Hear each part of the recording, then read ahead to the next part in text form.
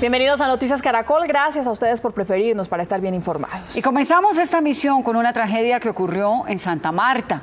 Un niño de 8 años murió al tocar un cable de energía que se encontraba en el suelo. La denuncia de la comunidad es que ese cable se encontraba en el suelo hace días. Sin embargo, las autoridades no hicieron nada. Electricaribe ya respondió.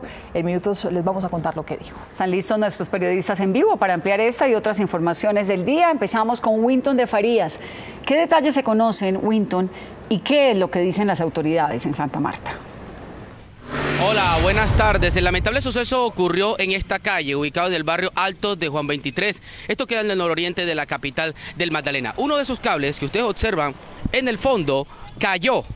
Ustedes ven que están conectados de manera artesanal y cayó al suelo el niño que se encontraba jugando de 8 años y que según su madre iba a ser un gran futbolista, terminó muriendo tras hacer contacto con la misma. La empresa Electricaribe respondió y dijo que este barrio es subnormal y que por ende no pueden realizar inversiones en este barrio.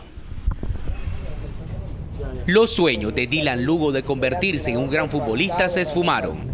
El pequeño jugaba frente a su casa en el barrio Alto de Juan 23, en el nororiente de Santa Marta, cuando su pierna se quedó enredada en un cable de alta tensión que se encontraba caído en el suelo.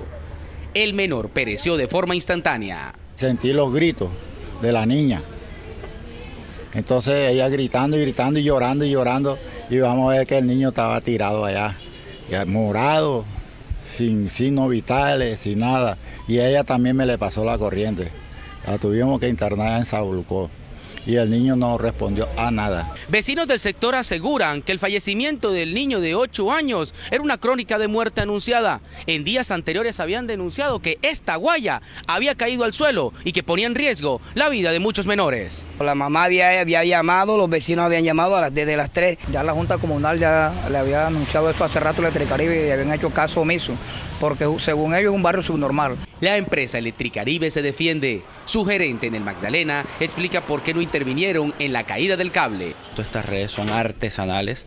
Estas redes, eh, como bien lo dicen también allá, estas redes han venido creciendo exponencialmente en los últimos años y bueno, al ser las redes también de manera artesanal, pues tienen estos riesgos también. Mientras la familia Lugo Rivas sufre por la ausencia del pequeño Dylan, otras 70 viviendas del barrio se encuentran en grave peligro por cuenta de los cables energizados que cuelgan cerca a las casas. El peligro, como ustedes pueden observar, amigos televidentes, es inminente en todas estas viviendas. Son 70 las que residen aproximadamente en este barrio Juan 23, en el nororiente de la capital del Magdalena, y esos cables se encuentran en la parte eh, muy cercana a, los techos de estas casas. El llamado que hace toda esta comunidad es que puedan salir de esa subnormalidad con la empresa Eléctrica Caribe y poder tener sus contadores para así, no solamente para pagar la, la energía, sino también que no se presenten estos nuevos hechos lamentables en la capital del Magdalena. Información desde el nororiente de Santa Marta, Winton de Farías, Noticias Caracol.